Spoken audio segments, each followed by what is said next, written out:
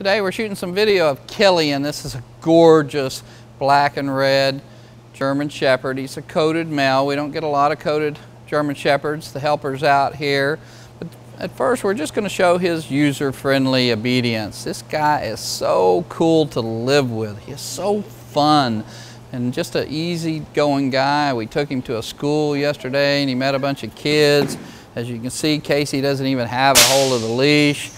Uh, Eric's out here popping a whip and being an idiot, but the dog is still completely obedient and calm and cool and collected. This is rare. Protection dogs are supposed to be crazy. They're supposed to attack everything. We don't raise dogs like that. We're raising personal protection dogs, friendly dogs, happy dogs, sociable dogs, safe dogs, dogs that can go anywhere you go.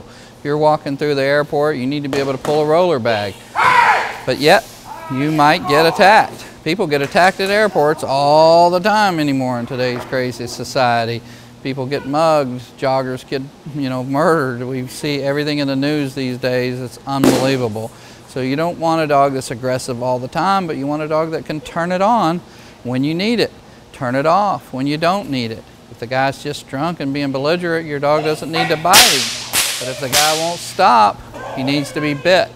So what's unique about Killian is he's super fun, friendly, sociable, happy, good with cats, just awesome overall individual, amazing temperament, he's beautiful, he's sweet, and yet super stable. Look, the same guy that was yelling and screaming a minute ago, the dog is just ignoring him and being obedient.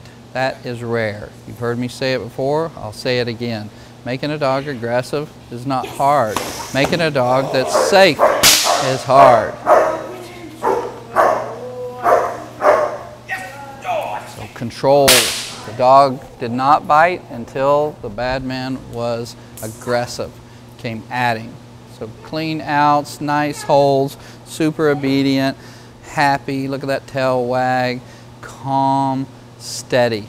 That's Killian super dog ready to come to your home and make an immediate impression on your life.